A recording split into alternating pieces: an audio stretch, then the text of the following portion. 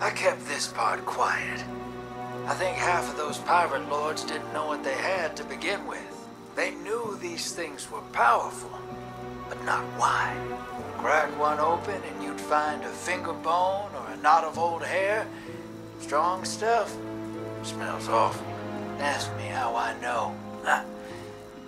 I've been holding on to them, but I figured you might want them.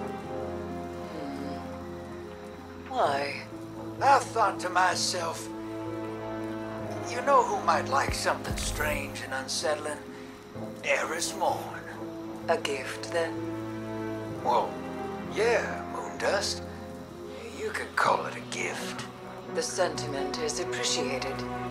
But no. You know what you possess. These relics are not simple curiosities to be hoarded. They might serve a greater purpose. And what's that? Am I your conscience? Discover this for yourself. They are reliquaries, objects of great power.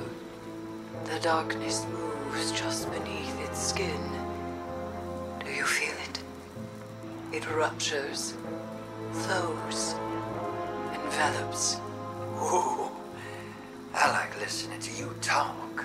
And I enjoy your silence.